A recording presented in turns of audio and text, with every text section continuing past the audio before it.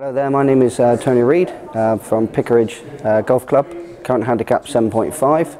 Uh, the reason I've gone for a putter fitting today is because I'm uh, really struggling with my short putts, especially inside uh, three feet, really pushing my putts to the, to the right hand side.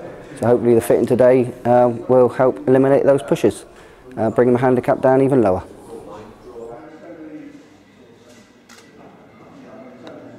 My name is Andrew Howe. I'm a sales advisor at American Golf in Exeter, plus, plus one, and also play for Gloucestershire County team. First of all, I got Tony to try sort of an Anser style putter. Um, straight away, we could see that he was missing the ball to the right. We just couldn't quite release the club head, so I then got him to try one with more shaft going into the heel, so he could be able to get the toe to release a little bit.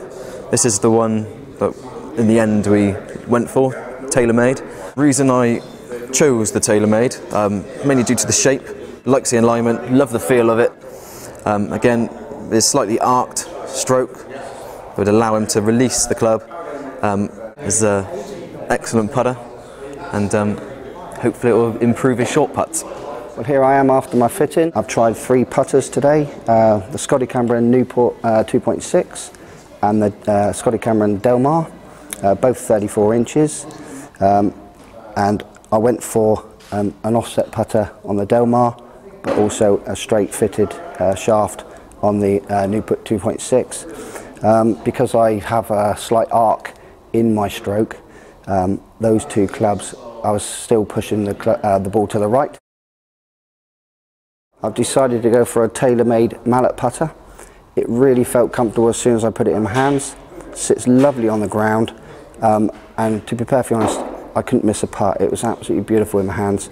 Um, it's a TM 880, as I said, mallet shaft, and a 34 inch uh, shaft as well. Um, so hopefully that's eliminated me, uh, me pushing to the right, and uh, like I say, I can sink more three foot putts now and obviously win more comps.